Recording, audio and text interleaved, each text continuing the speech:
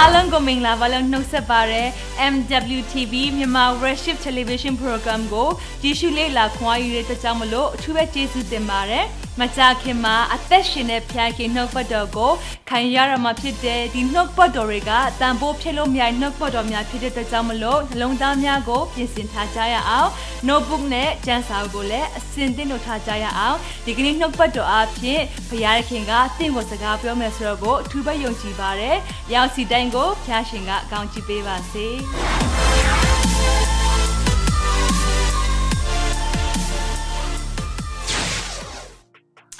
Amen Amen Amen အရောက်စီတိုင်းကိုဖိတ်ခေါ်ရဲ Good morning Good afternoon Good evening ပါဒီနေ့ America အဖွဲ့တွေကိုတော့ Good morning ပါလို့နှုတ်ဆက်ပါတယ်ပြီးရင်တော့ Europe အဖွဲ့တွေအားလုံးကိုတော့ Good afternoon ပါလို့နှုတ်ဆက်ပြီးတော့ကမ္ဘာရှိဖက်ချမ်းအားလုံးကိုတော့ Good evening ပါလို့နှုတ်ဆက်ပါတယ်เนาะအားလုံးပဲနေကောင်းကြမယ်လို့ယုံကြည်တယ်ဒီနေ့ညမှာလည်းအသက်ရှင်တဲ့ထာဝရဘုရားနှုတ်ပတ်တော်ကိုပြန်လည်ပြီးတော့ကျွန်တော်တို့ခံယူရမှာဖြစ်တယ်ဟာလေလုယာဘယ်နှယောက်ယင်ခုန်ပါသလဲ ဘယ်နှယောက်ကြိုးဆိုပါသလဲနှုတ်ပတ်တော်ကြိုးဆိုရတဲ့သူเนาะ online မှာ900နဲ့မှ28ယောက်ရှိနေတယ်ဟာလေလုယာဘုရားရှင်နာမတော်ထူးချီးမွမ်းနေအဲကျွန်တော်ပြီးခဲ့တဲ့အဲလွှင့်တဲ့အချိန်တုန်းကတော့ end time နဲ့ပတ်သက်ပြီးတော့ prophecy update လေးတခုလုပ်မလားပေါ့เนาะဒီနေ့ကိုစဉ်းစားတယ်ဒါပေမဲ့ကျွန်တော်တို့စောင့်စောင့်စရာလေးတွေနည်းရှိနေတယ်အဲဆိုတော့နည်းနည်းလေးပေါ့နော်အကျမ်းမြင့်တော့ပြောပြချင်တယ်အဲ့ဒါပါလဲဆိုရင်တော့အခုငင်းချင်းစာချုပ်နဲ့ပတ်သက်ပြီးတော့ ဘာရိန်းနိုင်ငံကလည်းစိတ်ဝင်စားနေပြီเนาะ Israel နဲ့ဘာရိန်းเนาะဒါတွေကအရင်တော့ကမ္ဘာရန်ဘက်တွေဒါပေမဲ့အခုချိန်မှာငင်းချင်းစာချုပ်တွေစာချုပ်နေပြီဒါချမ်းစာပြည်စုံခြင်းဖြစ်တယ်ပြီးရင်ဂျူးလူမျိုးတွေနော်အာဖရိကဂျူးလူမျိုးတွေရှိတယ်နော်အာဖရိကမှာလည်းဂျူးဆက်တဲ့ဟာတွေရှိတယ်ဆိုတော့သိစေချင်တယ်။ဘာကြောင့်လဲဆိုတော့ရှောလမုန်အားဖြင့်နော်အာရှောလမုန်ကနော်ဒီသူ့ရဲ့ဒီမိဖုရားတွေထဲမှာလည်းအာဖရိကန်တွေပါတယ်နောက်ပြီးရင်နော် ဒီမောရှေရဲ့နော်အမျိုးသမီးဒုတိယအမျိုးသမီးဆိုလဲအကုရှနော်ကုရှဆိုတာတော့အီသီယိုးပီးယားမျိုးသမီးဖြစ်နေတယ်ဆိုတော့ဒါနေဒါတွေကနေဆင်းသက်တဲ့ဂျူးတွေရှိတယ်ဒါသူတို့လည်းပြန်ဖို့ရန်အတွက်အစီအစဉ်တွေလုပ်နေတယ်เนาะပြီးရင်အခုကယ်လီဖိုးနီးယားမှာအရင်ကတခါမှမကြုံဘူးတဲ့ဒီမီးလောင်တဲ့မီးဘေးပေါ့နော်အရင်ကတခါမှဒီလောက်ဆိုးရတဲ့အရာမကြုံဘူးဘူးသူတို့သမိုင်းမှာ နော်ဒါတွေကြုံရတယ်ဒါတွေမြင်တွေ့တဲ့အခါမှာတခုပဲရှိတယ်သိလားသခင်ပြန်လာတော့မယ်ဒါ sign နေပဲအားလုံးဟာ sign နေဖြစ်တယ်ကျွန်တော်ယုံကြည်သူတွေတတိမလစ်ပါနဲ့ယုံကြည်သူများစီမီခွက်ပြင်ဆင်ရမယ့်အချိန်ဖြစ်တယ်ဒီအချိန်မှာတချို့တွေဒီနှုတ်ပတ်တော်မကြားကြဘူးအော်ဖို့သိကောင်းတယ်ဘာကြောင့်လဲရာသောနာရှိတယ်တဲ့နောက်ဆုံးသောကာလမှာရာသောနာရှိမယ်တဲ့ယုံကြည်သူတွေကိုသတိပေးနေတဲ့အရာတွေအသင်းတော်ကိုသတိပေးနေတဲ့အရာတွေမှာ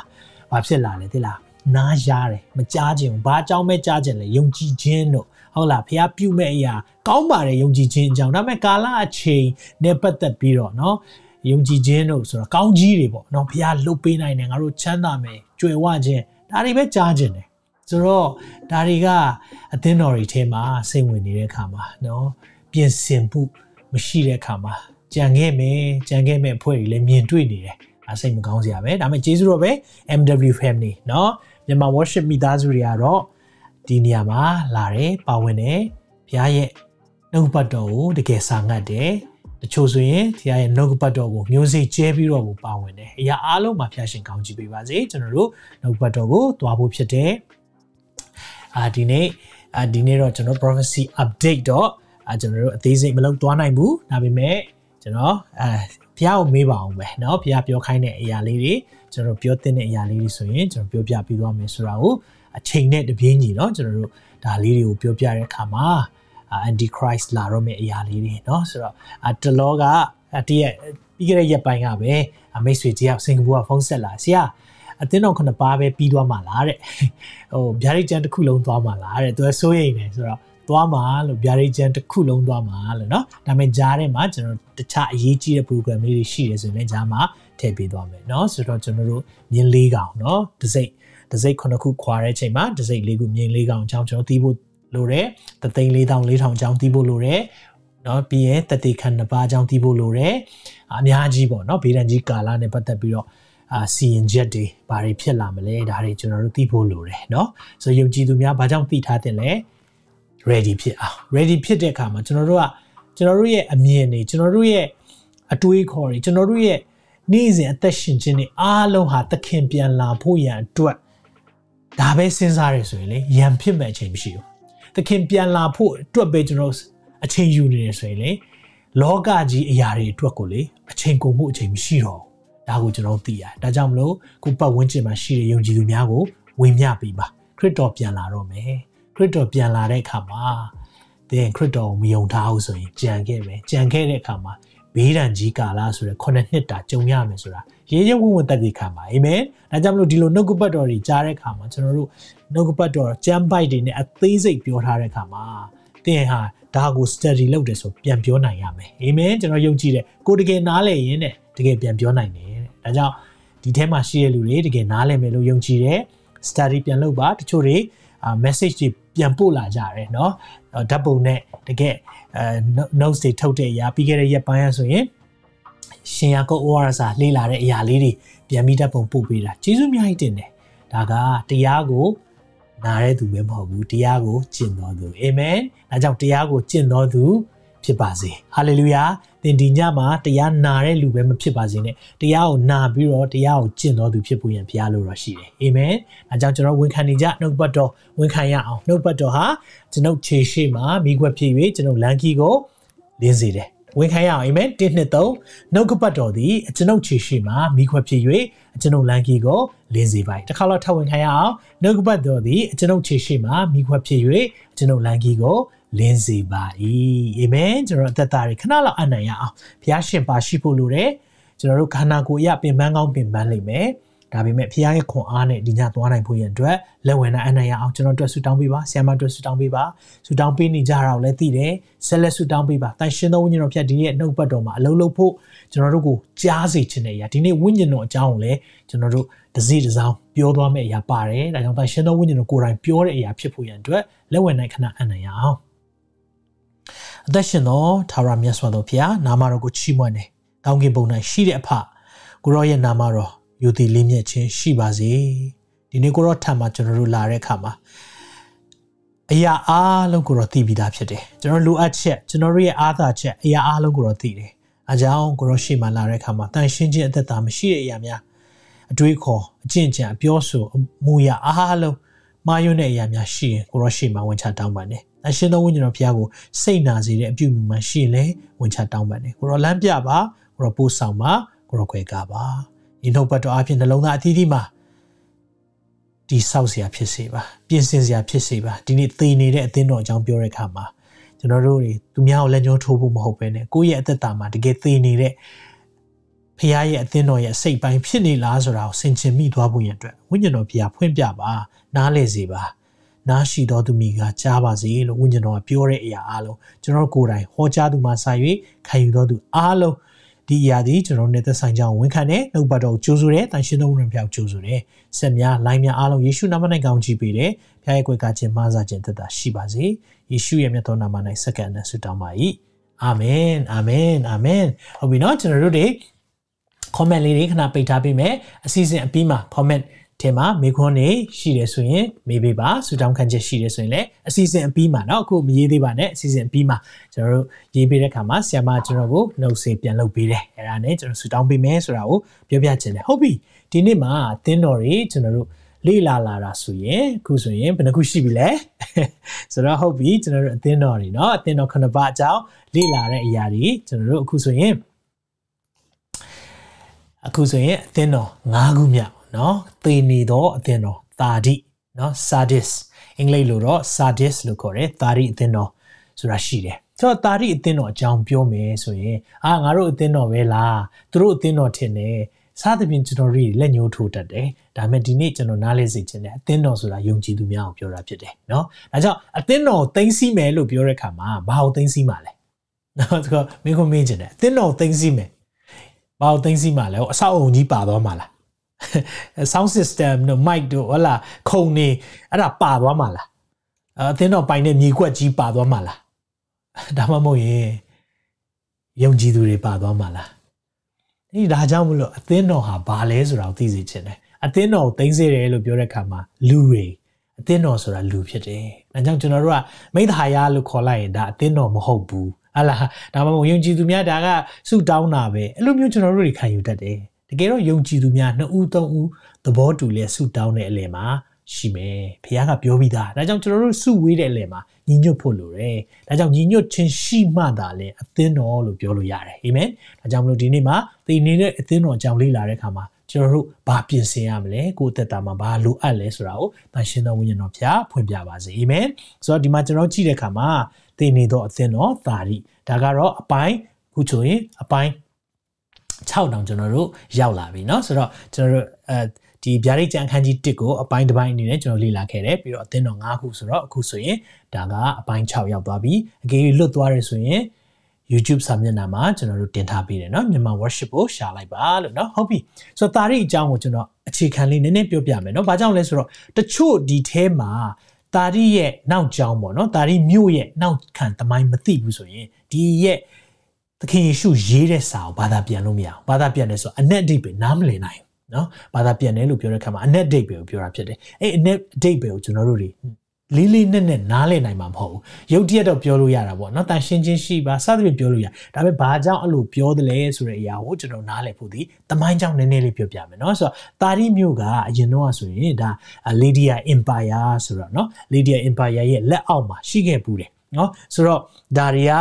ယောမခင်မဟုတ်သေးဘူး Greek ခင်မဟုတ်သေးဘူးเนาะအဲ့ဒီတက်ဆိုးတဲ့အချိန်မှာเนาะ Lydia Empire လက်အောက်မှာရှိဘူးတဲ့အခါမှာမြို့ဟောင်းဖြစ်ဘူးတယ်ဆိုတော့ဒီမြို့ကဒါနင်းနေနောနောမြို့မဟုတ်ဘူးထင်အထင်ကြီးမြို့ဖြစ်တယ်လို့ချမ်းသာတဲ့မြို့ဖြစ်တယ်เนาะဆိုတော့အဲ့ဒီမြို့ကသိုးမွေးလုပ်ငန်းအထည်လိပ်လုပ်ငန်းနဲ့နာမည်ကြီးတယ်เนาะဆိုတော့အထည်အလိပ်အကြောင်းကိုနာမည်ကြီးတယ်ဆိုတာကိုသိထားမှယေရှုခရစ်တော်က ပြီးရင်သူဒီအသင်းတော်စကားပြောတဲ့အခါမှာဆက်ဆက်မှုရှိတာကိုသိလိမ့်မယ်เนาะဆိုတော့ဒီမျိုးကဘာကြောင့်အချမ်းသာတာလဲဆိုရင်ချမ်းသာတဲ့အကြောင်းရင်းတစ်ခုကဒါအထည်လိပ်လုပ်ငန်းတွေလုပ်တာပါတယ်ဒါပေမဲ့တကယ်တမ်းချမ်းသာတဲ့အဓိကအကြောင်းရပါလဲဆိုတော့အဲ့ဒီအဲ့ဒီမြို့ပေါ့နော်အဲ့ဒီမြို့နားမှာဒီနော် Pactolus River Pactolus မြစ်မြစ်ဆိုပြီးတော့စီးဆင်းတယ်အဲ့မြစ်ကဘာထူးခြားလဲဆိုတော့သူ့ရဲ့သဲသဲထဲမှာရွှေ ငွေအဲ့လိုမျိုးရောထားတဲ့တတ်တူတစ်ခုပေါ့เนาะဆိုတော့ရွှေကျွန်တော်တို့ဒီနေ့ခေတ်ရွှေအစစ်စစ်လိုမျိုးတော့မဟုတ်ပေမဲ့တကယ်ဟိုရွှေပေါ့เนาะဒီဒီအဲရွှေရိုင်းပြောမလားเนาะဆိုတော့အဲ့လိုမျိုးကြီးဒါမှမဟုတ်ရင်ရွှေစစ်လုပ်လို့ရတဲ့เนาะအကုန်လုံးတတ်တူရောနေတယ်အဲ့ဒီရွှေတစ်မျိုးပါတယ်เนาะဆိုတော့ဒီမျိုးကအဲ့ဒါနဲ့သူကချမ်းသာတယ်ချမ်းသာတော့เนาะဒီမျိုးကိုအုပ်ချုပ်ခဲ့တဲ့ ဘယင်เนาะဒါယေရှုခရစ်တော်မမွေးခင်เนาะမမွေးခင်နှစ်ပေါင်း600လောက်မှာဆိုရင်သူတို့ကเนาะ king ayadas king ayadas เนาะ ayadas ဘယင်ကဘာလုပ်လဲဆိုတော့ဒီမှာဘာတွေ့လဲဆိုတော့ရွှေတင်းကားတွေ့လားဆိုတော့ဒီမြို့နဲ့ဆက်ဆက်ပြီးတော့ဘာကိုသူတို့သိထားလဲဆိုတော့ရွှေတင်းကားစတင်ပြီးတုံးဆွဲတဲ့เนาะမြို့တွေထဲမှာ ဒါအစောဆုံးကြတဲ့မျိုးတစ်မျိုးဖြစ်တယ်เนาะဆိုတော့ဒါမျိုးသူတို့အကောက်ချက်ချတဲ့အခါမှာသူတို့ရွှေတင်းကားကိုကြည့်ပါအောင်เนาะဆိုတော့အဲ့ဒီမြစ်ကရတဲ့ရွှေတွေနဲ့ဒါကြောင့်သူတို့ကရွှေသိပ်ပေါများတယ်ပေါ့เนาะအဲ့ဒီမှာဈေးအယောင်းဝယ်လုပ်တဲ့အခါမှာဒီရွှေတွေနဲ့အယောင်းဝယ်เนาะအပေကန်တာငွေကြေးစနစ်တစ်ခုဖြစ်လာဖို့ရန်အတွက်ဒီရဲ့မြို့နဲ့ဒီရဲ့ emperor ဟာအာအချက်ချာကြတဲ့မြို့တစ်မျိုးဖြစ်တယ်ဆိုတော့ကျွန်တော်တို့သိဖို့လိုတယ်เนาะဒါလေးကိုပြောပြချင်တယ်ဒီမြို့မှာเนาะအာရီမိနတ်ဖျားเนาะအာ Artemis Artemis နော် Artemis Artemis ဆိုရဲ Artemi နတ်ဖရားအကြောင်းကျွန်တော်တမန်တော်19တုန်းကပြီးခဲ့တဲ့အသင်ခန်းစာတွေတော့ကျွန်တော်ပြောပြီးပြီဆိုတော့ဒီနတ်ဖရားရဲ့နတ်ကွန်းလည်းရှိနေတယ်เนาะဒါကိုလည်းသိဖို့လိုတယ်။ဘာကြောင့်လဲဆိုတော့ယောမတွေ Greek တွေရဲ့အုပ်ဆိုးတဲ့နေရာဖြစ်ခဲ့ဘူးတော့ဒီနတ်ဖရားတွေကိုကိုးကွယ်ခြင်းဟာဒီမြို့ရဲ့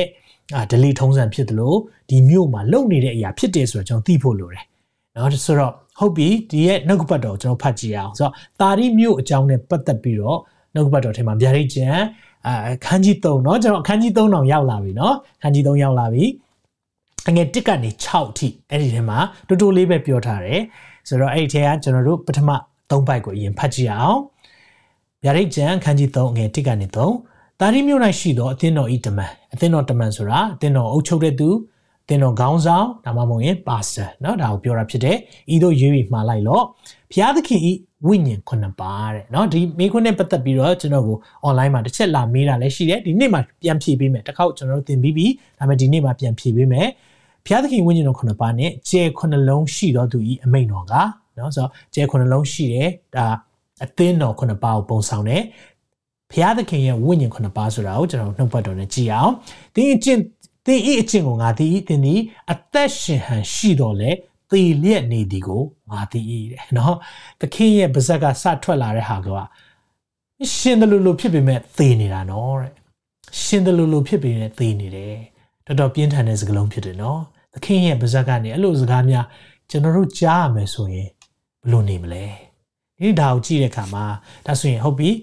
ကျွန်တော်တို့ဝိညာဉ်ခုနှစ်ပါးကိုအရင်ဆုံးကျွန်တော်နားလည်အောင်ရှင်းပြခြင်းတယ်ဒီအသင်းတော်မှာဘာကြောင့်အသက်ရှင်ဟန်ရှိတော်လဲသိတယ်လို့ပြောလေသိလားပြီးရင်တော့ဝိညာဉ်တော်နဲ့တွဲပြီးတော့ဘာကြောင့်ပြောလဲပြောပြမယ်အသင်းတော်မှာဝိညာဉ်တော်ဖျားမရှိရင်သိတယ်အသင်းတော်ကရှင်တလူလူပုံစံတော့ရှိတယ်ဘာကြောင့်လဲလူတွေရှိတာနော်လူတွေရှိတော့ယုံကြည်သူတွေစုဝေးတယ်ဆိုတော့ကျွန်တော်ထင်လိုက်တယ်ဒါကအသက်ရှင်ဟန်ရှိတာပဲ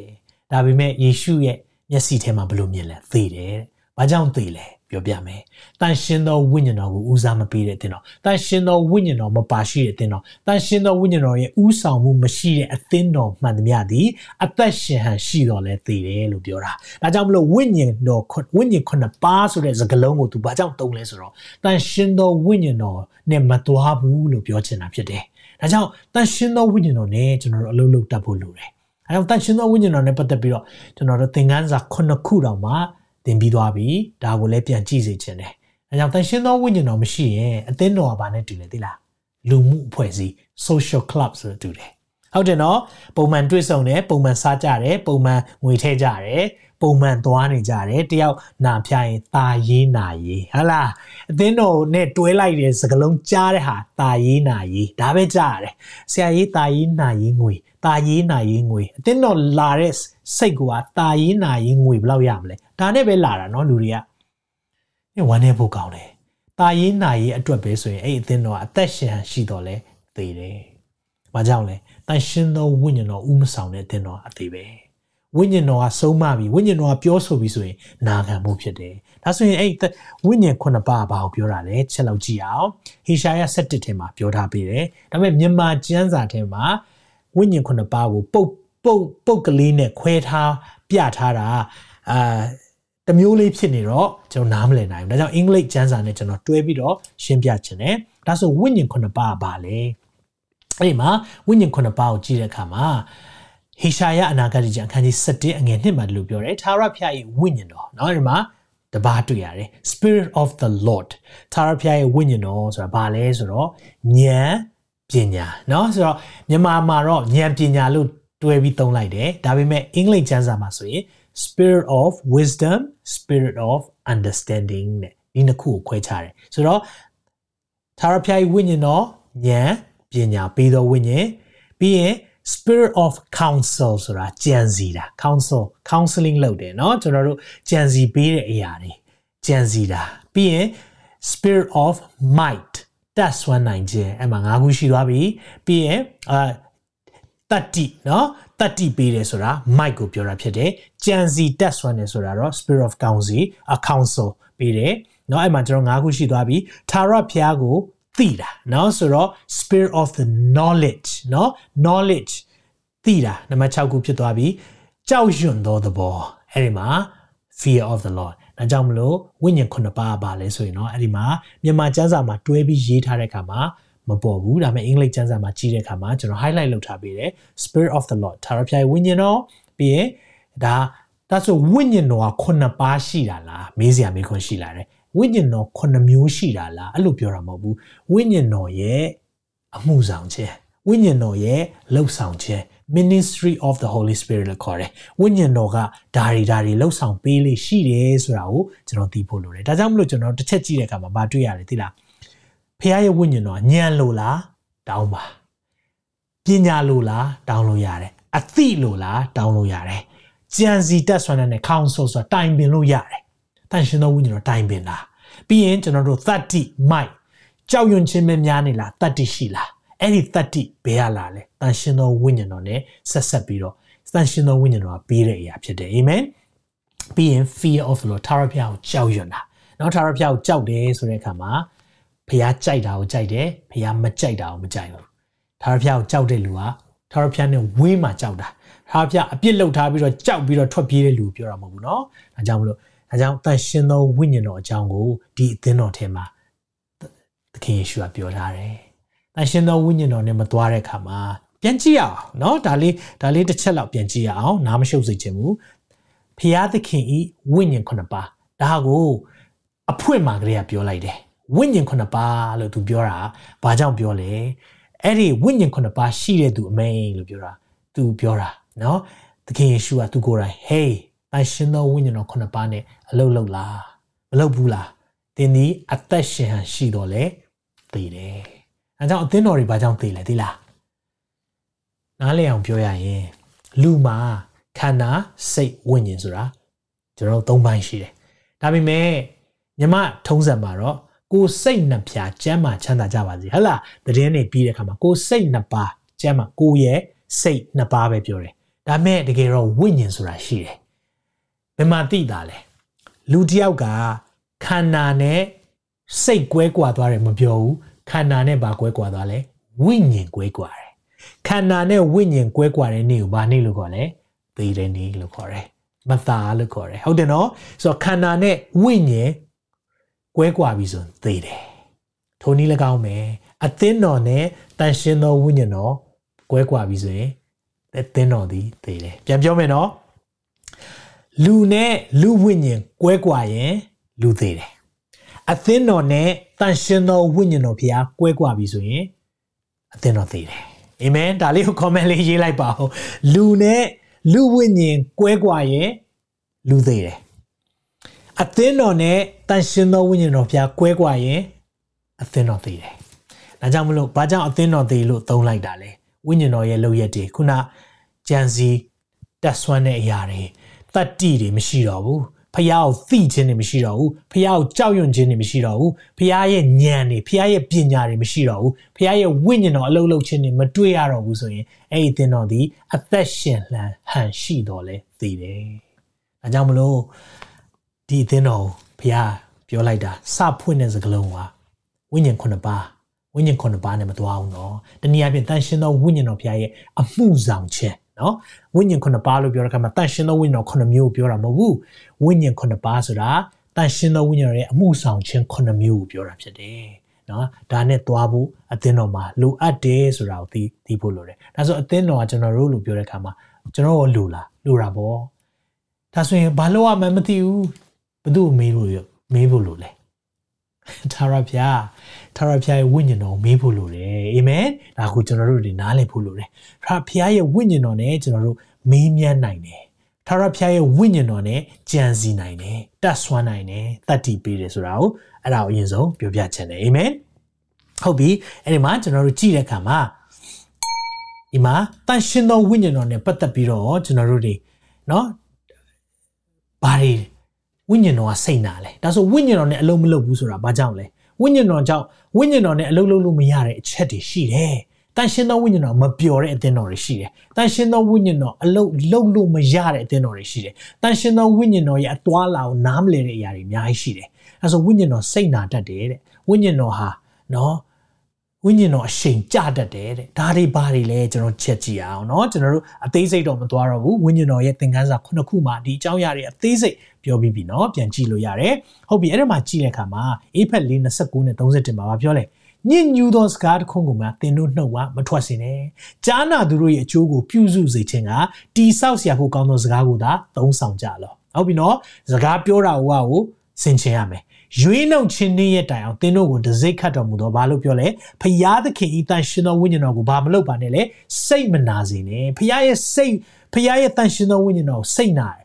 ဘာကစိတ်နာစေတာလဲအပေါ်မှာညှဉ်းညူးတဲ့စကားအောက်မှာလည်းထပ်ပြောတယ်ခတ်သိမ်းသောစိတ်တူခြင်းစိတ်ဆိုးခြင်းအမျက်ထွက်ခြင်းအော်ဟင်ကငေါခြင်းသူ့အသေးပြအောင်ပြောစေခြင်းတို့ကို၎င်းခတ်သိမ်းသောဘာလဲမနာလိုခြင်းเนาะမနာလိုစိတ်ရှိတာလဲဖျားဝိညာဉ်တော်မကြိုက်ဘူးပါစက်ကတော့အစ်စီပဲငြိမ့်နေတာဟောတကယ်ကောင်းကင်တမန်လေးကြာနေတာဟာလားအစည်းအဝေးတွေဆိုလည်းဘာမှမပြောဘူးအာတကယ်ဖျားနဲ့ပတ်သက်တဲ့စကားလုံးလေးတွေပဲထွက်လာတယ်ဒါပေမဲ့ဘာရှိလဲ မနာလိုစိတ်အပြည့်ရှိတယ်အဲ့ဒီလူကဘာလဲသိလား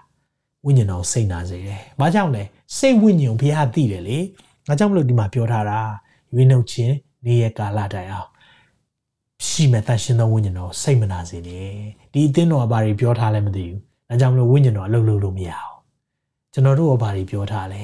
ဘဝမှာဘာတွေဘလို့အသက်ရှင်နေလဲနေတိုင်းအဲ့ဒီအသက်ရှင်ခြင်းမျိုးနဲ့သွားမယ်ဆိုရင်တော့ ဝိညာဉ်တော်စိတ်နာတတ်တယ်ဝိညာဉ်တော်အလုပ်လုပ်လို့မရဘူးဝိညာဉ်တော်နဲ့မသွားဘူးဆိုရင်အသင်းတော်ဟာသေးတယ်လို့ပဲယုံကြည်သူတွေရဲ့အသက်တာမှာဝိညာဉ်တော်နဲ့မသွားဘူးဆိုခန်းချောက်လာတယ်အာမင်ဒါကြောင့်မလို့ကြည်ရအောင်နောက်ကျမ်းစာမှာပြောလဲတတလောနဲ့ဩရစာပထမဆုံးခန်းကြီး9အငယ်16မှာဆိုရင်ဝိညာဉ်တော်ဤအရှိန်ကိုမငြိမ်းစေကြနဲ့ဝိညာဉ်တော်အရှိန်ငြိမ်းစေတာကျွန်တော်ရဲ့စကားပြောခြင်းနေเนาะအော်ဟင်းငေါငေါခြင်းနေ တကယ်စိတ်တူခြင်းနေဒါတွေအတန်ရှင်သောဝိညာဉ်တော်ရဲ့အရှိန်တစ်ခုကိုကြာစေတယ်ခတ်သိမ်းတော့မနာလိုခြင်းเนาะပြောတော့မပြောစိတ်တော့မတုံငြိမ်တော့ငြိမ်တယ်အထက်ကမနာလိုစိတ်အပြည့်ရှိတယ်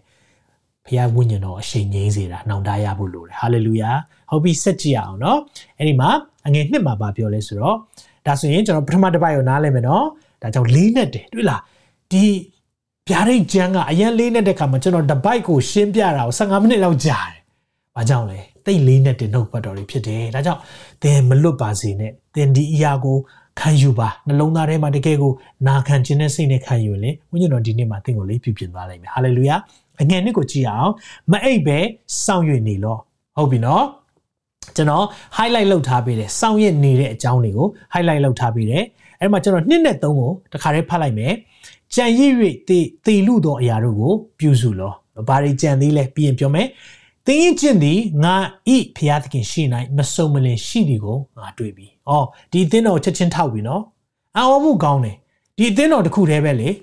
။တခြားအသင်းတော်ဆိုရင်မင်းရဲ့အချင်းချင်းချင်းချစ်ချင်းနေယုံကြည်ခြင်းနေနော်။အသစ္စာဆောင်ခြင်းတွေကိုသိတယ်။ဒါမျိုးတွေစလာတယ်။ commendation လို့ခေါ်တယ်။ဖျားရဲ့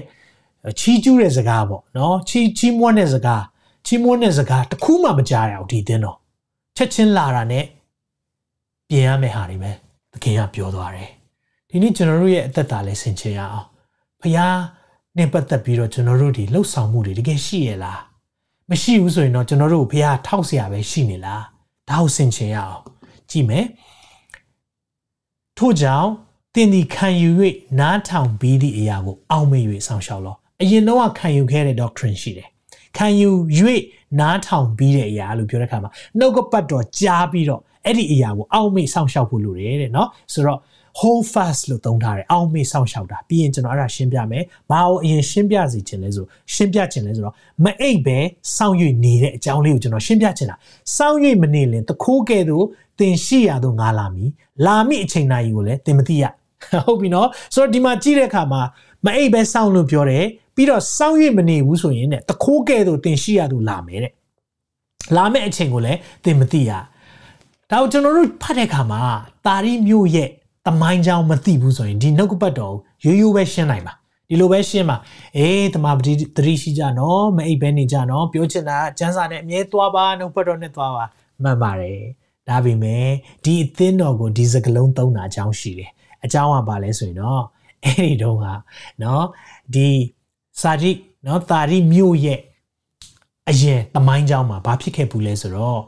ပေရသိအင်ပါယာရဲ့သိမ်းပိုက်ခြင်းခံရဘူးတယ်နော်အဲ့ဒီတော့ပေရသိအင်ပါယာကဘသူကသိမ်းပိုက်လဲဆိုတော့နော်ကျွန်တော်ကျွန်တော်သိတယ် Cyrus Cyrus ဘုရင်လို့ပြောတဲ့အခါမှာเนาะ Ezra เนาะကျွန်တော် Ezra ထဲမှာဖတ်လို့ရတယ်ဟေရှာထဲမှာပါတယ်ဒိုင်လเนาะဒိုင်လထဲမှာဒီဒီဘီရင်အကြောင်းအများကြီးပါတယ်ဆိုတော့ဒီဘီရင်အကြောင်းပါတဲ့ခါမှာเนาะကုကုရုမင်းလို့ခေါ်တယ် Cyrus เนาะကုရုကုရုမင်းအဲ့ဒီကုရုမင်းက ပေရသိလို့ပြောတဲ့အခါမှာဘာကိုပြောတာလဲပေရသိကအီရန်เนาะအီရန် Persia Empire ဆိုတော့1930ကျော်အထိသူတို့ကအဲ့နာမည်ပဲသုံးခဲ့သေးတာနောက်ပိုင်း1930နဲ့ဒီဒီ30 34လားမသိဘူးเนาะကျွန်တော်တို့အဲ့ဒီနောက်ပိုင်းမှာမှသူကအီရန်လို့နာမည်ပြောင်းတာဆိုတော့အရင်တော့ကပါရှားပေရသိ empire ဆိုတာကြီးကြီးဖြစ်ခဲ့တယ်เนาะဆိုတော့ကုရုမင်းကဒီမြို့ကိုသိမ်းဖူးတယ်ဆိုတော့သူတို့ကရွှေထွက်ခဲ့တဲ့เนาะမြစ်ချောင်းလည်းရှိတယ် ကြီးကျယ်ချမ်းသာတယ်ဆိုတော့အဲ့ဒီတုန်းကเนาะတိတ်ချမ်းသာတဲ့ဘယင်เนาะဆိုတော့ဘာတူလဲဆိုတော့ဒီမှာเนาะကြည့်ပါဒီမှာเนาะဆိုတော့ Lydia King เนาะသူကเนาะအာ corrosive corrosive လို့ခေါ်တယ်ဒီဘီယန်เนาะဒါကတော့သူတို့ပြန်ပြီးတော့ပကြီးဆွဲထားတာပေါ့เนาะဆိုတော့ဒီဘီယန်လက်ထက်မှာဆိုတိတ်ချမ်းသာတဲ့အခါမှာသူ့ရဲ့မြို့ရိုးတွေသူကကြီးကျယ်ကာထားတယ်เนาะဆိုတော့ဒီမှာကြီးပုံမှန်တွေ့တဲ့အတိုင်းပဲမြို့ရိုးတွေအကြီးကျယ်ကာထားတဲ့အခါမှာအဲ့ဒီမှာ ကုရုမင်းနဲ့တက်တွေကပေရတိတက်တွေကထိုးပေါက်လို့မရအောင်ဒီမြို့ကိုဘလို့မှမအောင်နိုင်ဘူး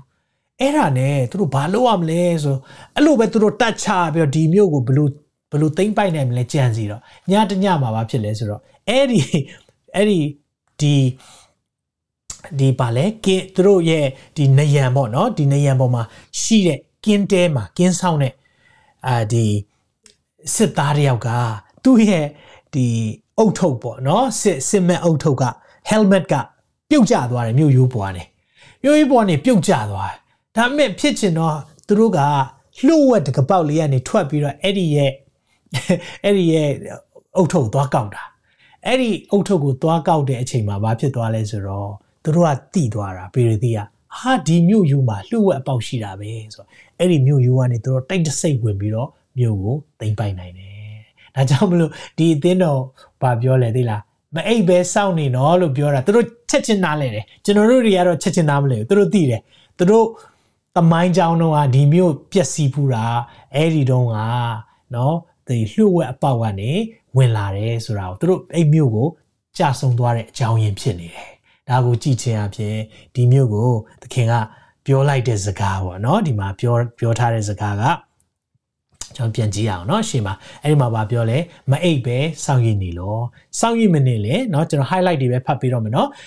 တခိုးကဲ့သို့သင်ရှိရသောငါလာမယ်။အော် तू လာမယ်နော်တဲ့နော်။တခိုးကဲ့သို့လာမယ်။လာမယ့်အချိန်ကိုလည်းသင်မသိရနော်။ထုံနည်း၎င်းမယ်။ဒါကတခြားဥပမာအနေနဲ့လည်းတခုဘာသိရလဲဆိုတော့အတိတ်ပဲတခုကပါလဲဆိုရင်တော့သခင်ရဲ့ခြီဆောင်ခြင်းသခင်ရဲ့ခြီဆောင်ခြင်းဒီလည်းအချိန်တိုင်းမသိရအောင်။ ဒါကြောင့်ကျွန်တော်တို့ကတမန်တတိအမြဲတမ်းရှိဖို့လိုတာသင်တို့ရဲ့ယံသူဟာတဲ့ဟောက်တော်ချင်သေးကဲ့သို့အဘယ်သူကိုဝါမျိုးရမယ်ကိုကြည်တယ်နော်ဗီဒီယိုထဲမှာပြောထားတယ်ဒါကြောင့်ကျွန်တော်တို့ကနားလေဖို့ကပါလေဆိုတော့ယုံကြည်သူများဒီချိန်ကငိုက်မီအိပ်ပြောရမယ့်အချိန်မဟုတ်တမကျန်းစာနဲ့အမြဲချိန်ထိုးနေရမှာကြည်ရမယ်ဆိုင်းတွေကိုကြည်နေရမယ်အဲ့လိုပြောလို့တညလုံးထိုင်နေရမှာပြောတာမဟုတ်ဘူးနော် literal ဆိုတာအဲ့လိုမျိုးထိုင်ဖို့ပြောတာမဟုတ်ဘူး ဒါပေမဲ့ကျွန်တော်တို့ကဘာနားမလဲကိုနားယူရမယ့်အချိန်ရှိတယ်အိပ်ရမယ့်အချိန်ရှိတယ်ဒါပေမဲ့တစ်ချိန်လုံးလောကအရာတွေထဲမှာအိပ်ပျော်ဖို့ပြောတာမဟုတ်ဘူး Facebook တွေနဲ့ပဲအချိန်ကုန်ရမှာမဟုတ်ဘူး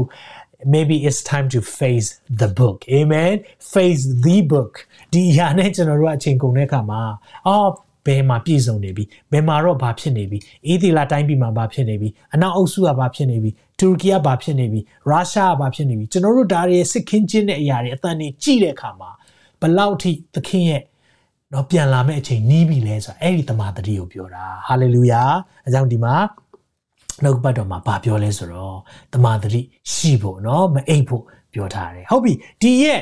အသင်းတော်ရဲ့နောက်ကြုံတွေ့ရတဲ့ပြဿနာတစ်ခုကဘာလဲဆိုတော့ get along culture လို့ခေါ်တယ်လိုက်လျောညီထွေနေထိုင်မှု နော်ဆိုဘသူကလိုက်လျောညီထွေဆိုတာမနေဘဲမနေဘဲနေချင်ပါလေဟုတ်လားအားလုံးနဲ့အဆင်ပြေချင်တာပေါ့အားလုံးနဲ့အဆင်ပြေတယ်တဲ့တယ်ကောင်းတာပေါ့ဟုတ်တယ်မလားဒါပဲမကောင်းတဲ့အရာတွေလည်းရှိတယ်ဘယ်မှာမကောင်းလဲဆိုတော့ကိုယ့်ရဲ့ယုံကြည်ချက်ခံယူချက်တွေဟာတဖြည်းဖြည်းပြက်ပါပြက်ပြားလာတယ်ဒါကိုလည်းရှင်းပြပေးမယ်နော်ရှင်းပြပေးမယ်ဆိုတော့ဟုတ်ပြီဒီမှာကျွန်တော်တို့ခုနကျွန်တော်မရှင်းပြခဲ့တဲ့အပိုက်နှစ်နဲ့သုံးထည့်အကြောင်းအရာကိုကျွန်တော်ပြန်ရှင်းပြပေးမယ်ကြံရစ်၍ သေလူသောအရာတို့ကိုပြုစုလောသေလူဆိုမသေတော့မသေသေးဘူးနည်းနည်းလေးအသက်ငင်နေသေးတယ်ဘာလဲကျွန်တော်ကြည့်အောင်နော်သင်အကျင့်ဒီဘုရားသခင်ရှိနိုင်ငါဤဘုရားသခင်ရှိနိုင်မစုံမလင်ရှိဒီကိုငါတွေ့ပြီနော်ဒီအရာတွေမစုံလင်တဲ့အရာတွေတွေ့ပြီတဲ့ဘာတွေလဲကျွန်တော်ကြည့်မယ်ထို့ကြောင့်သင်ဒီခံယူ၍နားထောင်ပြီးတဲ့အရာကိုအောက်မေ့၍စောင့်ရှောက်လို့သူတို့ဘာနားထောင်ပြီးပြီထင်လဲအဲ့တော့ကသူတို့နားထောင်ပြီးတဲ့အရာကဒီနေ့ဒီချမ်းပိုက် ဒီအရာကိုသူတို့သိတယ်ဘာလဲသိလားယေရှုကငါသည်လမ်းခီးဖြစ်၏တမာတရားလည်းဖြစ်၏အသက်လည်းဖြစ်၏ငါကိုအမိမပြုလဲအဘယ်သူမျှခမင်းတော်ထံသို့မရောက်ရဒီရဲ့ပြောကြားချက်ဒီလို claim ဒီလို statement ပေးတဲ့ဖရားတပါးပဲရှိတယ်သခင်ယေရှုတပါးပဲရှိတယ်ငါသည်လမ်းခရီးတမာတရားအသက်ငါကိုအမိမပြုတ်ဘဲတော့ဘယ်လို့မှမသွားနိုင်ဘူးဒီလိုပြောတဲ့ အရာကျွန်တော်တို့တမာတရားပဲပြောတာတမာကျမ်းစာထဲမှာပဲဒီ claim မျိုးလုပ်ပူတာဒါကြောင့်မလို့ဒီအဲအကြောင်းအရာတွေကိုကျွန်တော်တို့တွေအခုချိန်မှာပြောလာပြီဆိုရင်ပတ်ဝန်းကျင်ကမကြိုက်ဘူးမဟုတ်ဘူးလေဘာသာတိုင်းကကောင်းတယ်လေဒါကြောင့်မလို့မင်းတို့လည်းမင်းတို့ယုံကြည်တဲ့နိဗ္ဗာန်ရောက်မှာပေါ့ငါတို့လည်းကောင်းရာလုပ်တဲ့အခါမှာနိဗ္ဗာန်ရောက်မှာပေါ့ငါတို့လည်းဒီနေ့ကို၅ချိန်ဆုတောင်းတယ်သွားမှာပေါ့ဟုတ်လား ဘာသာတွေတီးတီးကခံယူချက်ရှိတဲ့အခါမှာနောက်ဆုံးလူတွေကဘယ်လိုဖြစ်လာလဲဒီလားဒီနေ့အမေရိကမှာတိတ်နာမည်ကြီးတဲ့ဆရာတစ်ပါးပဲနာမည်တော့မပြောတော့ဘူးเนาะဆိုတော့သူ့ကို interview လုပ်တယ် interview လုပ်တဲ့အခါမှာသူ့ interview ကမေးတယ် interview မေးတယ်လူကပြောပါအောင်ယေရှုတလန်းတည်းပဲကယ်တင်ခြင်းရမယ်ဆိုတာမင်းလက်ခံလားလို့ပြောတဲ့အခါမှာအဲ့ဒီဆရာကြီးကပြောလဲဆိုတော့ငါအတွက်တော့ဟုတ်တယ်တဲ့ခမည်းအတွက်တော့မသိဘူးတဲ့ကြည်အောင်နော် ငါအတွက်တော့မှန်တယ်တဲ့မိတ်ဆွေအတွက်တော့ကျွန်တော်မပြောနိုင်ဘူးတဲ့ပြောချင်တာပါလေကျွန်တော်တို့လိုက်လျောညီထွေစွာနေချင်တဲ့အခါမှာဒီအရာကိုမပြောရတော့ဘူး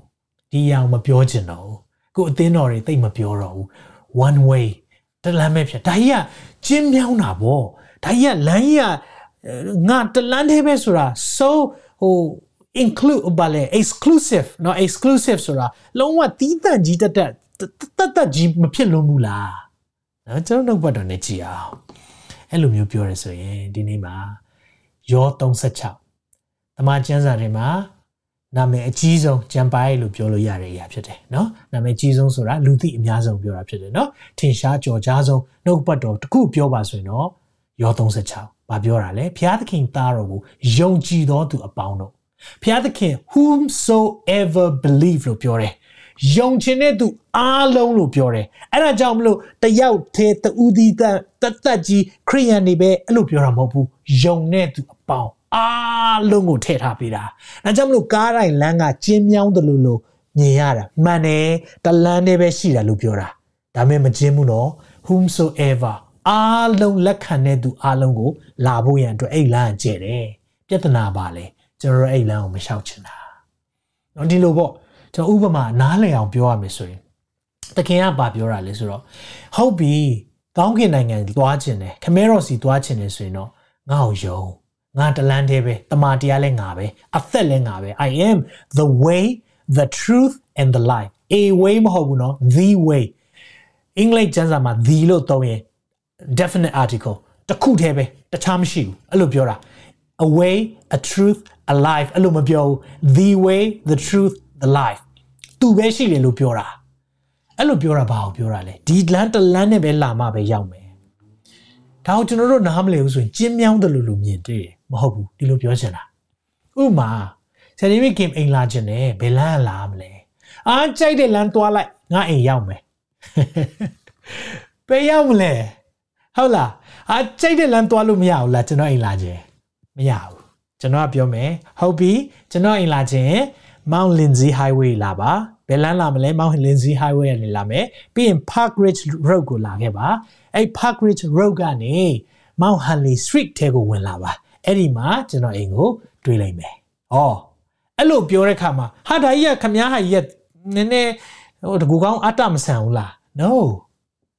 အဲ့လိုမလာရင်ကျွန်တော်အိမ်လုံးဝမရဘူး။ဟုတ်တယ်နော်။ထုံနေ၎င်းပဲ။သခင်ကကျွန်တော်တို့ကိုဒါက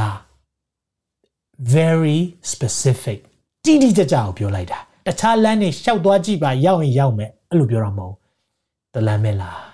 ယေရှုတည်ဟူသောလမ်းကနေလာမှပဲရမယ်အာမင်အဲကြောင့်ကျွန်တော်ဒီလိုခံယူချက်တွေကိုသာရိအသင်းတော်ကခံယူခဲ့တာဒါပေမဲ့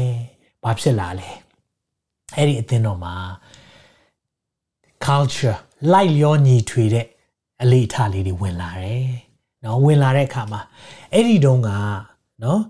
ကျွန်တော်ဓာတ်ပုံတစ်ပုံအရင်ပြမယ်ဒါကိုရှင်းပြတဲ့အခါမှာပို့ပြီးတော့နားလည်လိမ့်မယ်ဒါကြောင့်မလို့ဖျားသခင်ဒီဟာလေးကိုအရင်ဖတ်ပေးမယ်နော်ဖျားသခင်သားတော်ကိုယုံကြည်တော်သူအပေါင်းယုံကြည်တဲ့သူတိုင်းနော်ယုံကြည်တဲ့သူတိုင်းဆိုတာလမ်းကြီးကအကြီးကြီးပါအားလုံးယုံလို့ရတယ်တင့်ကိုယုံတင့်ကိုအားလုံး လာဖို့ကြိုးစိုးတဲ့သခင်ဖြစ်တယ်ဒီလမ်းကတေးသေးလေးနဲ့တယောက်ချင်းပဲလာတယောက်နှစ်ယောက်ပဲသွားလို့ရတဲ့လမ်းမဟုတ်ဘူးနော် whomsoever အင်္ဂလိပ်ကျမ်းစာမှာဆိုဘသူဖြစ်ဖြစ်လာလူသူတိုင်းလာနိုင်တယ်ဆိုရယ်လမ်းပျက်စီးခြင်းတို့မရအောင်ဘာပေးမလို့ပြောလဲသာရအသက်ကိုရစေခြင်းကသာရအသက် everlasting life ဘယ်တော့မှမသေးနိုင်တဲ့အသက်ဘယ်လောက်ကောင်းလဲ ဘုရားသခင်သည်မိမိ၌တပါးတည်းသောသားတော်ကိုစွန့်တော်မူသည့်တိုင်လောကီသားတော်ကိုချစ်တယ်ဟာလေလုယာဘုရားရဲ့မြတ်တာအဲ့မှာပေါ်တယ်အဲ့ဒီမှာအောက်မှာရေးတဲ့ခါမှာလောကီသားတို့ဟာအပြစ်စီရင်စေခြင်းကဘုရားကစီရင်ဖို့ဘုရားသခင်သည်သားတော်ကိုဤလောကသို့ဆီလွတ်တော်မူမဟုတ်စီရင်ဖို့လွတ်တာမဟုတ်ဘူးတဲ့ဘာလို့တွက်လွတ်တာလဲလောကီသားတို့သည်ကိုရောအားဖြင့်ကယ်တင်ခြင်းသို့ရောက်မိအကြောင်းဆီလွတ်တာဟာလေလုယာဒီနေ့ သခင်ယေရှုလောကကိုလာတဲ့အရာကခရိယန်တွေအတွက်ကိုလာတာမဟုတ်ဘူးအဲ့တော့ခရိယန်ဆိုတာလည်းမရှိခဲ့ဘူးလူသားအားလုံးအတွက်လာတာလူသားအားလုံးအတွက်လာပြီးတော့သူကဘယ်ဖျားမှမပြောတဲ့ဘယ်သူမှမပြောဘူးတဲ့စကားပြောတယ်အဲ့ဒါပါလေငါသည်လန်ခီသမာတရားအသက် the way the truth and the life no one will come to the father but by me ငါတလန်းထရပဲလာလို့ရတယ်အဲ့လိုပြောတာအဲ့လိုပြောတာကဲဒီလိုပြောပြီးဆိုရင်တော့ထူးခြားပြီဒါပေမဲ့သူ့ရဲ့တက်တရားပါလေလူတိုင်းတော့ပြောလို့ရတာပေါ့ငါဖျားဖြစ်တယ်ငါငါ့ကိုယုံပါပြောလို့ရတယ်ဒါပေမဲ့တခုရှိတယ်ဖျားမှန်ရင်သိခြင်းမှန်အောင်ရတယ်ဒါကြောင့်မလို့လဝါကားတိုင်းမှာအသေးခံတာဆိုတာဖျားရဲ့ချစ်ချင်းမြတ်တာကိုပြတာဖြစ်တယ်လို့ဖျားရဲ့ ကျွန်တော်တို့ပုံမှာရှိတဲ့အပြစ်အားလုံးကိုယူသွားတာကိုပြတယ်ဒါပဲလားမဟုတ်ဘူးရှင်ပြန်ထမြောက်တယ်ယေရှုသာအဲ့ဒီကလေးကသိနေရင်လေကျွန်တော်ကူးကွယ်စရာမရှိဘူးဘာကြောင့်ကူးကွယ်နေလဲသခင်ယေရှုကထမြောက်တယ်သူ့အယိုးကိုလိုက်ရှာတာဒီနေ့ထိရှာလို့မရအောင်သူ့ရဲ့အလောင်းကောင်ဒီနေ့ထိရှာလို့မရအောင်ဘာကြောင့်လဲဤဤနိုင်မရှိမိန်တော်မူသည့်အတိုင်းထမြောက်တယ်ဣသရေလမှာတွားကြည့်ပါအခုချိန်ထိဆိုင်းရှိတယ် he has risen ထမြောက်သွားပြီမရှိဘူးเนาะဒါကိုနားလည်စေချင်တယ်ဒါကြောင့်ကျွန်တော်တို့တွေရဲ့ကိုးကွယ်ခြင်းကဘာလဲသိထားဖို့လိုတယ်ဒါပေမဲ့တာတိအသင်းတော်မှာဒီအရာလေးတွေကိုတဖြည်းဖြည်းနဲ့ရုပ်ရော့လာတာအာယေရှုတလန်းနဲ့ပဲမဟုတ်ဘဲနဲ့ယောမဘုရင်တွေကိုးကွယ်တဲ့ဘုရားတွေရှိတာပဲယောမနတ်ဘုရားတွေခုနကတော့နော်အာဒမိနတ်ဘုရားတွေရှိတာပဲနောက်ပြီးရင်စီဇာကိုကိုးကွယ်လို့ရတာပဲဒါတွေနဲ့သွားလို့မရဘူးလားနော်အဲ့မိခွန်းတွေကအတင်းတော်ထဲမှာရောက်လာတယ် အဲကြောင့်မလို့ကျွန်တော်တို့တွေကဒါတွေကိုဘလို့ကာကွယ်မလဲဒီအတိုင်းပဲเนาะကျွန်တော်တို့တည်ဖို့လိုတယ်ဟုတ်ပြီဒါဆိုရင်ကျွန်တော်တို့ကဖះကြိုက်တဲ့အကျင့်ကပါလေဖះကစေလွတ်တဲ့လူကိုတဲ့ဒါဆိုရင်နော်ဖတ်ကြည့်အောင်ယောဟန်6ထဲမှာပို့ပြီးရှင်းလင်းစွာပြောထားတယ်28နဲ့29မှာထိုသူတို့ကလည်းဖျားသခင်အလိုတော်နဲ့ညီတော့အကျင့်ကိုကျင့်ခြင်းကအဘယ်သို့ပြုရမလဲနော်ဒီမှာခုနပြောတယ်နော်ဖျားရှိမှမင်းတို့အကျင့်ကျင့်တာမကောင်းဘူးနော်လို့ပြောတယ်အဲဆိုအဲ့ဒီအကျင့်ကဘာကိုပြောတာလဲဒီ မှာပြောတယ်ယေရှုကလည်းဖျားသခင်စေလွတ်တော်မူသောသူကိုယုံကြည်ခြင်းအကျင့်ကအလိုတော်နဲ့ညီတော့အကျင့်တယ်ဖျားစေလွတ်တာဘယ်လိုလဲသခင်ယေရှုသခင်ယေရှုကိုယုံကြည်တဲ့သူဟာ အလိုတော်နဲ့ညီတဲ့အကျင့်ဖြစ်တယ်ဟာလေလုယာဒါကြောင့်မလို့သင်ဟာသခင်ယေရှုဖခင်ကိုယုံကြည်လက်ခံတော်သူဖြစ်တယ်ဆိုရင်ဖခင်ရဲ့အလိုတော်နဲ့အညီကျင့်တော်သူဖြစ်တယ်အာမင်ဒါကိုနားလည်ရဟုတ်ပြီဒါဆိုတာရိမြို့ရဲ့အသင်းတော်တစ်ချက်ကြည့်လိုက်အောင်ဒီအသင်းတော်ကအံ့ဩဖို့သိကောင်းတယ်เนาะဒါကတော့ synagogue ဆိုတာတရားစည်းရဲ့လို့လည်းပြောတာပေါ့အဲ့ဒီအချိန်တုန်းကသူတို့ကနားလည်ထားတာကအဲ့ဒီအချိန်မှာ Jew တွေ ဂျူးဘာသာကိုးကွယ်တာရှိတယ်ဒါပေမဲ့တစ်ချိန်တည်းမှာပဲအဲ့ဂျူးအုပ်စုထဲမှာလည်းသခင်ယေရှုကိုလက်ခံလာတဲ့ယုံကြည်သူတွေရှိပြန်ရောဆိုတော့ယောမတွေကဘယ်လိုနားလည်လိုက်လဲဆိုတော့ဟုတ်ပြီ synagogue လို့ခေါ်တဲ့တရားစည်းမှာဂျူးဘာသာရှိတယ်เนาะသူတို့ဂျူးတွေကိုသူတို့ကခွင့်ပြုထားတယ်ဂျူးကသူတို့ဖျားကိုကိုးကွယ်မယ်ဒါကိုသူတို့နားလည်ပေးလိုက်တယ်ခွင့်လွှတ်ထားတယ်ဒါပေမဲ့ခရိယန်နေကြတော့ယေရှုကိုကိုးကွယ်ပြန်ရော ဆိုတော့သူတို့အဲ့ဒီမှာတမျိုးဖြစ်နေတယ်ဒါပေမဲ့သူတို့အနေနဲ့ဘယ်လိုပဲနားလည်လိုက်လဲဆိုဟုတ်ပြီခရိယန်တွေကဂျူးရဲ့ gain တစ်ခုဖြစ်လိမ့်မယ် gain ခွဲ sect နော် sect လို့ခေါ်တယ်ဆိုတော့ gain ခွဲလေးတစ်ခုဖြစ်လိမ့်မယ်ဒါအနေနဲ့သူတို့ကလက်ခံထားလိုက်တယ်ဒါပေမဲ့အံ့ဩဖို့ကောင်းတာချက်ကြည့်အောင်နော်ဆိုတော့အဲ့ဒီမှာသူတို့ကိုးကွယ်ခဲ့တယ်နော်ဒါဒါ synagogue လို့ခေါ်တဲ့တရားစရက်နော်တရားစရက်မှာကြည့်တဲ့အခါမှာဒီတရားစရက်ကအံ့ဩဖို့သိကောင်းတာကအခု ဒီပါလက်စတိုင်းရဲ့เนาะပါလက်စတိုင်းအထဲမှာเนาะဒါပါလက်စတိုင်းဆိုတာဒါယေရုရှလင်ဗိမာန်တော်ဗိမာန်တော်ကြီးကြီးကြီးတည်ဆောက်ခဲ့တယ်အဲ့ဒီလောက်နီးပါเนาะအဲ့ဒီလောက်မရှိရင်တော့မှဒုတိယအကြီးဆုံးလို့ပြောလို့ရတဲ့เนาะအဲ့လိုမျိုးဗိမာန်တော်စင်နဂေါဘယ်မှာဆောက်ခဲ့လဲဆိုတော့ဒါဒီမြို့မှာရှိခဲ့တယ်ဆိုတော့ယေရုရှလင်မြို့ဗိမာန်တော်ပြီးရင်เนาะ တခြားနေရာမှာအကြီးဆုံးဘယ်နေရာရှိလဲ outside of Israel ပေါ့ Israel နိုင်ငံရဲ့ outside ဘယ်မှာရှိလဲဆိုရင်တော့တာတိမြို့မှာရှိခဲ့တယ်အဲ့မှာကြည့်တဲ့အခါမှာအသင်းတော်ဒါအခုလက်ရှိကြံနေတဲ့အရာเนาะပြီးရင်ဆိုတော့ courtyard ဆိုတာဒီရဲ့เนาะဒီအသင်းတော်ထဲမှာအသင်းတော်ရဲ့ဒီပတ်ဝန်းကျင်လေးတွေကိုပြထားတာရှိတယ်เนาะဆိုတော့ကျွန်တော်ဓာတ်ပုံလေးတွေထပ်ပြအောင်မယ်ဆိုတော့ဒီအသင်းတော်မှာကြည့်ကြည့်ပါเนาะဆိုတော့ဒါပျက်စီးကြံကျွင်းခဲ့တဲ့နေရာလေးတွေရှိတယ် ကြီးတဲ့အခါမှာတကယ်တကယ် အကြီးကြီးပဲတိဆောက်ခဲ့တာဒါမဲ့ကျွန်တော်ပြောမယ်အရန်အောင်ဖို့ကောင်းတယ်ဟာအခုညာဘက် down ပုံလေးပေါ့နော်အဲ့ဒါလေးကိုကျွန်တော်ပြပေးမယ်ဆိုတော့ဒီရဲ့သိငယ်ရုပ်လေးတွေ့လားနော်ဆိုတော့ဒါကအာဂျူးဘာသာနဲ့လည်းမဆိုင်ဘူးပြောမယ်ဆိုရင်ပြီးရင်အဲခရစ်တော်ယုံကြည်လက်ခံတဲ့သူတွေနဲ့မဆိုင်ဘူး။ဘာနဲ့ဆိုင်လဲဆိုတော့ယောမတွေကိုအတိမတ်ပြုခြင်းကိုပြတယ်။အဲဒီတော့ကဆိုရင်ဒါယောမတွေရဲ့နော်ယောမတွေကိုတစ္ဆာရှိကြောင်းပြတဲ့ဒစိတ် အဲ့ဒါဘယ်မှာရှိနေလဲဆိုတော့ synagogue ရဲ့အလယ်ထဲမှာရှိတယ်เนาะဒီတရားစရိတ်ရဲ့အလယ်မှာရှိနေတယ်เนาะအဲ့ဒါလေးကိုတွေးတဲ့အခါမှာအသင်းတော်ထဲမှာ okay maybe ငါတို့ကိုးကွယ်တဲ့ဖရားတွေကအားလုံးကောင်းပါတယ်เนาะဒါလေးတွေဖြစ်လာတာကိုပြတယ်နောက်အအောင်ဖို့သိကောင်းတာကအဲ့ဒီတာရီမျိုးရဲ့အသင်းတော်နဲ့မလန်မကန်ပဲတိတ်မဝေးဘူးအဲ့မှာဘာရှိလဲဆိုတော့ဒီတာရီမျိုးရဲ့အားကစားရုံရှိတယ် နော်ဆိုအားကစားရုံအခုချိန်တိတာမြင်တွေ့နေရတဲ့ဟာတွေတကယ်ကိုဟိုဒီဟိုကောင်းကောင်းမွန်မွန်ကိုစောက်ထားတာเนาะသူတို့တွေတေချာကိုစောက်ထားတာအခုချိန်တိတောင်ဒီလောက်ကြံနေသေးတယ်ဆိုရင်တော့အရင်တော့ဘလောက်ထိများတေချာစွာသူတို့မွမ်းမံခဲ့မလဲဆိုတာကြည့်လို့ရတယ်เนาะဒါအောင်မြင်တွေ့တဲ့အခါမှာဘာတွေ့ရလဲဆိုတော့ဒီရဲ့အားကစားယုံရှိတာဘာဖြစ်လဲအားကစားလုပ်တာမဟုတ်ဘူးအဲ့ဒီတုန်းကသူတို့အားကစားလုပ်တဲ့အချိန်မှာနဘန်းတက်တာတွေရှိတယ်ပြီးရင်เนาะဆိုတော့ ယောမတွေကသူတို့ကသူတို့ရဲ့ဒီကိုခန္ဓာเนาะကိုခန္ဓာကိုတိတ်တန်ဖိုးထားတယ်တန်ဖိုးထားဆိုတော့ကိုခန္ဓာအလှပကိုတိတ်ကြိုက်တဲ့အခါမှာသူတို့ကဒီကိုတုံးလုံးနဲ့เนาะအားကစားပြိုင်တာတို့စသဖြင့်အဲ့ဓာတွေရဲ့လွှမ်းမိုးတဲ့အရာတွေကအသင်းတော်နဲ့ကပ်ရက်မှာဖြစ်နေတာနော်ဆိုတော့ကြီးလိုက်တဲ့အခါမှာဒါတွေမြင်တွေ့တဲ့အခါမှာအသင်းတော်ရဲ့စိန်ခေါ်ချက်ပေါ့အသင်းတော်ထဲမှာရှိတဲ့သူတွေကဒီရဲ့ ကြည့်ဟိုမှာဝါအသင်းတော်ဖျားရှိခိုးနေတဲ့အချိန်စဉ်းစားကြည့်လေဟိုမှာဟေးဟလာကျွန်တော်တို့ဟိုဘောလုံးပွဲရှိရင်တော့မှဖင်တကြွကြွဖြစ်နေဟလာတရားဟောဆရာအရန်ကြာရင်ဆိုမကြိုက်တော့ဘူးလေ။မကြောက်လဲစီဇန်ကနီးနေပြီလေဟိုမှာကန်နေပြီလေ။ဆိုတော့တချို့အသင်းတော်မှာကျွန်တော်ရောက်တဲ့အခါမှာဘာတွေ့ရလဲသိလား။ဒါကောက်ကျွန်တော်တရားမဟောခင်မှာပဲကျွန်တော်တရားမဟောခင်လေးအဲ့တင်းတော့လူများတယ်အာအမေရိကမှာဆိုတော့ကျွန်တော်တရားဟောဟောခင်လေးပဲ အပေါ်ခဏသွားလိုက်တယ်ပြန်လဲလာရောလူငယ်တချို့ကပါကြည့်နေဆိုကဘာဗလားကြည့်နေနောက်မှာအုပ်စုလိုက်ပဲဖုန်းနေနဲ့ငကြက်လေးတက်ထားပြီးတော့ဖះเจ้าမှာတော့လာထိုင်နေဘာကြောင့်လဲပြင်ပအရာတွေအသင်းတော်တွေကိုရောက်နေတာနော်အဲ့လိုဖြစ်တဲ့ခါမှာစဉ်းစားကြည့်လိုက်တာဒီအသင်းတော်ဆိုတာသင်ဟာအသက်ရှင်ဟန်ရှိတော်လဲသိတယ်ဆိုတာအဲ့ဒါကိုပြောတာဆိုတော့မဆောက်နိုင်ဘူးဒီအရာကအရင်အရေးကြီးနေတယ်သူတို့အတွက်အဲကြောင့်မလို့เนาะဘောလုံးပွဲဖြစ်ချင်းဖြစ်မယ် maybe နော်ဟိုပြိုင်ပွဲတစ်ခုခုဖြစ်ရင်ဖြစ်မယ်ဟုတ်လားဟိုခစ်စားနေတဲ့လှုပ်ရှားမှုတွေတစ်ခုဖြစ်ကောင်းဖြစ်မယ်ဒါပေမဲ့ကျွန်တော်တို့နားလည်ဖို့ကပါလေဆိုတော့ဒီအရာတွေအသင်းတော်ထဲမှာစိတ်ဝင်လာပြီးတော့အသင်းတော်ကလည်း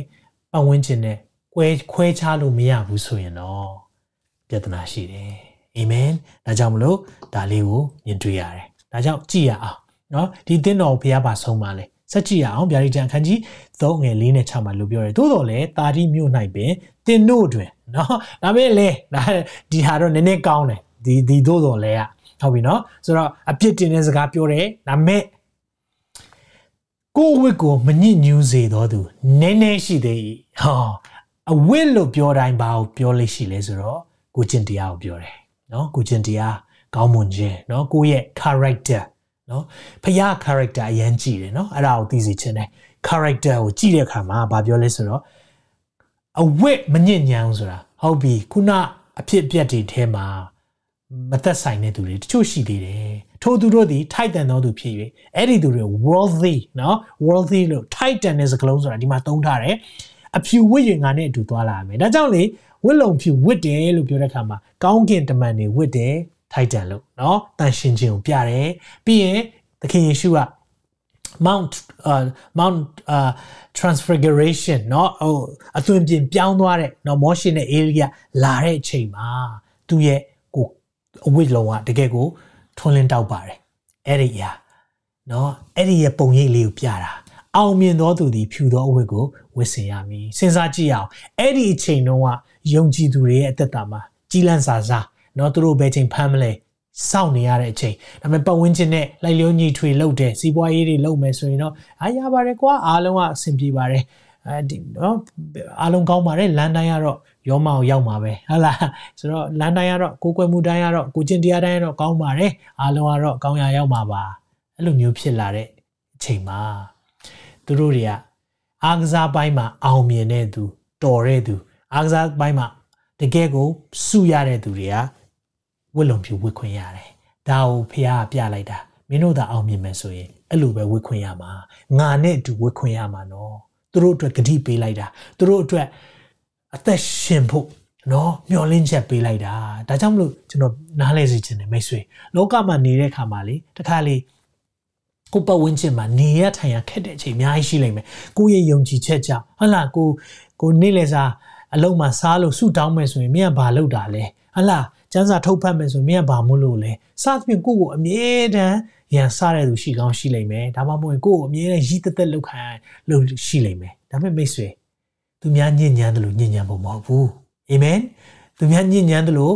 သူများအသက်ရှင်တယ်လို့သွားဖို့မဟုတ်ဘူးရေးလိုက်ငားလိုက်နေဖို့မဟုတ်ဘူးလောကအရာတွေထဲမှာပျော်ပွားတော့လောကထဲမှာရှိတာဟုတ်တယ်ဒါပေမဲ့တင့်ထဲမှာလောကရှိလို့မရအောင်အာမင်အရင်ပတ်ကျွန်တော်ပြောပြီးပြီလောကထဲမှာအသင်းတော်ရှိတာဘာမှမဖြစ်ဘူး ဒါပေမဲ့အသင်းတော်ထဲမှာလောကရှိလာရင်တော့ပြဿနာရှိတယ်အာမင်ဒါကြောင့်မလို့ကျွန်တော်တို့ရဲ့အသက်တာမှာကြည်တဲ့အခါမှာဖခင်ကဘာဖြစ်စေချင်လဲဆက်ပြီးတော့သူဂရိပေးတဲ့အရာလေးတွေကြည်အောင်အောင်မြင်တော့သူလာပြန်ပြီနော်ဒီစကားလုံးခဏခဏသုံးတယ်တင်းတော်တွေထဲမှာ overcomer ဒါမှမဟုတ်ရင် conqueror အောင်မြင်တဲ့သူတွေကဖြူသောအဝတ်ကိုဝေရမယ်ဒီနေ့ဒါကြောင့်မလို့ကောင်းကင်ကနေပြန်လာတယ်နော်ကောင်းကင်ကပြန်လာတယ်လို့ပြောတဲ့အခါမှာကျွန်တော်တို့ အာခြီဆောင်ခြင်းတွေပြီးပြီးတော့ဗျာဒိတ်19ထဲမှာသခင်ယေရှုနဲ့ကျွန်တော်ဒုတိယအကြိမ်ကြွဆင်းလာတဲ့အခါမှာအားလုံးကဖြူသောဝိလုံတွေပဲဝစ်ကြတယ်။မကြောက်လဲအောင်မြင်တော်သူတွေအာမင်အဲ့ထဲမှာနောက်ဒီမှာသိအရေးကြီးတဲ့ချက်တခုတော့ကျွန်တော်ပြောမယ်။တော်တော်များများလဲဒီနှုတ်ကပတ်တော်သိနားမလဲကြအောင်။နော်ကျွန်တော်လဲနားလေတာမကြသေးဘူး။ဘာလဲဆိုတော့သင်ဤနာမကိုအသက်စာဆောင်မှငါသည်အလင်းမပဲအလင်းမပဲ။ အဲ့ဒီမှာကြည့်တဲ့အခါမှာငါခမဲတော်ရှေ့၌၎င်းကောင်းကင်တမန်တို့ရှေ့၌၎င်းသူဤနာမကိုငါဝန်ခံမိဟုတ်ပြီနော်အဲ့ဒီမှာကြည့်တဲ့အခါမှာအသက်စာဆောင်မှအလင်းမပဲဆိုတော့ I will not erase your name အဲ့လိုပြောတော့ဆရာဖခင်ကကျွန်တော်နာမည်ကိုထည့်လိုက်ဖြက်လိုက်ထည့်လိုက်ဖြက်လိုက်အဲ့လိုလုပ်တာလားကျွန်တော်နောင်တရတဲ့အချိန်မှာကောက်ထည့်လိုက်နောင်တမရတဲ့အချိန်မှာဖြက်လိုက်အဲ့လိုလုပ်တာလား နော်မေခွန်းနေခဏခဏမေးခံရတယ်အရင်တော့ဆိုရင်တော့အေးကောင်းကင်စာအုပ်ကတော့ခဏခဏ correction နေနဲ့လုပ်နေရမှာပဲစဉ်းစားစရာဖြစ်အသက်စာဆောင်ကြီးကအကုန်လုံးဟာလားကျွန်တော်တို့ white dot တွေနဲ့အကုန်လုံးဖြတ်ရမှာလားစဉ်းစားစရာရှိလာတယ်အဲ့လိုမဟုတ်ဘူးတကယ်တော့ယောမတွေရဲ့လက်အောက်မှာเนาะရှိတဲ့အချိန်ဒါကြောင့်ကျမ်းစာကိုနားလည်ခြင်းကျွန်တော်တို့တွေကပြန်ပြန်ပြီးတော့အဲ့ဒီခေတ်အခြေအနေကိုနားလည်ဖို့လိုတယ် ယ် ဆိုတော့မှတ်မိလားမသိမေရိုမာရီနဲ့ယောယောသတ်တို့ကသကောင်စင်းကောက်တယ်ဆိုတဲ့အခါမှာသူတို့မွေးရက်မြေကိုသွားရတယ်နော်မွေးရက်မြေကိုသွားပြီးမှအဲ့ဒီမှာဘက်အဲကြောင့်သူတို့ကနော်အာယူရာပီဘက်လင်မြို့သွားတာနော်ဆိုတော့အဲ့ဒီမှာရောက်သွားတယ်ရောက်သွားတဲ့အခါမှာသကောင်စင်းပေးရတယ်စသဖြင့်ယောမတွေသူတို့သူတို့မှတ်ထားတယ်မှတ်တမ်းစာအုပ်ရှိတယ်ဒါပေမဲ့အဲ့ဒီမှတ်တမ်းစာအုပ်ကဘယ်အချိန်မှမှဖြတ်လဲသိလား နာမည်ဖြတ်တာဘယ်အချိန်မှလဲဆိုရင်အဲ့ဒီလူကတည်သွားတဲ့အချိန်ဒါမှမဟုတ်အဲ့ဒီသူဟာယာဇဝတ်သားเนาะအပြစ်ရှိတဲ့အချိန်မှာဖြတ်လိုက်တယ်ဒီတယောက်ကပယ်ရမယ့်သူဆိုရင်ဖြတ်လိုက်တယ်အဲ့နဲ့ဆရာကြီး David Jeremiah เนาะဒီ prophecy တွေအကြောင်းမှာနာမည်ကြီးတဲ့အမေရိကဆရာကြီးတယောက်ရှိတယ်သူကဘာပြောပြလဲဆိုတော့ဒီမှာကျွန်တော်တို့နာမည်တွေအားလုံးဟာအသက်စာဆောင်ထဲမှာပါပြီးသားဖြစ်တယ်တေချာနားထောင်နော် အသက်စာဆောင်ထဲမှာနာမည်ပါပြီးသားသို့တော့သေတဲ့အချိန်ကြမှာဒီတယောက်ဒီနာမည်ကိုဖြတ်တင်သလားထည့်တင်သလားဆိုအဲ့ဒီချိန်ကြမှာဆုံးဖြတ်တယ်သူရှင်းပြတယ်အဲ့ချိန်ကြတော့ဝေါဘာကြောင့်နာမည်မဖြတ်ဘူးလဲလို့ပြောတဲ့အခါမှာသစ္စာရှိနော်ဖះအတွက်တည်ကြည်နော်ဖះနဲ့တွာလာနော်ဖြူသောဝစ်လုံဝတ်ခွင့်ရမယ်နော်အဲ့ဒါဆိုရင်မင်းရဲ့နာမည်ကိုငါမဖြတ်ဘူးနော်တွေ့လား ။ဒါကြောင့်မလို့ကျွန်တော်တို့ရဲ့အသက်တာမှာတည်တည်တိုင်အောင်သစ္စာဆောင်ခြင်းအရန်ရေးကြည့်တယ်။ဒါကြောင့်ကျွန်တော်တို့ကဖျားကိုနောက်ဆုံးချိန်မှညှင်းလိုက်မယ်ဆိုရောမင်းခုနေအများကြီးရှိလာတယ်။အဲကြောင့်တချို့ကလည်းကေတင်ချင်းကဆုံးရှုံးလာ။ကေတင်ချင်းကဘာလဲမင်းခုနေအများကြီးရှိလာတယ်။နော်။ဒါကြောင့်မလို့ကျွန်တော်တို့ကနားလဲဖို့ပါကိုနာမယ်နော်သူများဆုံးရှုံးလားဆုံးရှုံးတယ်သူများရလားအဲ့ဒါတွေနဲ့စိတ်မပူနဲ့တခုပဲကျွန်တော်သင်ကိုဒီညမှာပြောပြချင်တယ်ကိုအောင်ပေးချင်တယ် တင့်နာမယ်ကိုတင်ဆုံးပါသွားတဲ့အချိန်မှာသခင်ကဒီတယောက်တော့ဒီစာအုပ်ထဲမှာအသက်ဆာဆောင်မှာမရှိသင့်ဘူးထင်တယ်လို့ဖြတ်တဲ့စီရင်ထဲမှာတော့ဒီနေ့ကျွန်တော်မပါဘူးရေးကြည့်တယ်အာမင်အဲ့ဒါပိုရေးကြည့်တယ်အဲကြောင့်ကျွန်တော်သူများနာမည်ပါလားကိုသူတို့နာမည်ပြတ်သွားပြီလားကျွန်တော်တွေကအဲ့ဒါတွေကိုစိတ်ပူးပြီးတော့ဟို theological မေးခွန်းတွေပေါ့နော်ကယ်တင်ချစ်ရမဆုံးရှုံးမှုဆိုရင်ကတော့အပြစ်တွေကလှုပ်လို့ရလားစသဖြင့်မေးခွန်းတွေအများကြီးရှိလာတယ်နော်ဒါပေမဲ့ကျွန်တော်တို့က ဒီထက်နှုတ်ကပတ်တော်မှာလေ့လာတဲ့အခါမှာအသင်းတော်ခုနှစ်ခုမှာ၅ခုဒါဒီအသင်းတော်လည်းအပါဝင်ဖြစ်တယ်ဘာပြောလဲနောင်တရလောနောင်တရလောယုံကြည်သူတွေနောင်တရဖို့လိုလားလို့မေးခွန်းယုံကြည်သူတွေကခရစ်တော်ကိုလက်ခံပြီးပြီပဲဘာလို့နောင်တရကြလို့လဲသခင်ယေရှုကတော့အသင်းတော်ကိုပြောတာနော်အသင်းတော်ဆိုတာယုံကြည်သူတွေစုဝေးတဲ့နေရာအဲ့ဒီကလူတွေကိုဗာပြောလဲနောင်တရပါ ရှေးဦးမြတ်တာရော့ပြီလို့အေဖက်အသင်းတော်ပြောတယ်နောင်တရပါမင်းတို့အပေးယူလုပ်နေပြီဆိုပြီးတော့ပေရကန်အသင်းတော်ပြောတယ်နောင်တရပါမင်းတို့ဖောက်ပြန်နေပြီဆိုပြီးတော့နော်အသင်းတော်တွေကိုပြောတယ်ဒါကြောင့်ဒီကျွန်တော်နားလည်ဖို့ကဖះဘာကြောင့်ဒီစကားလုံးတွေသုံးလဲကျွန်တော်တို့ကိုပြုပြင်ချင်တာကျွန်တော်တို့အသက်တာမှာဖះနဲ့နေ့တိုင်းသွားလာစေချင်တာဒါကို तू ကပုံဖော်ထားတာဖြစ်တယ်ဆက်ပြီးတော့ကြည့်ရအောင်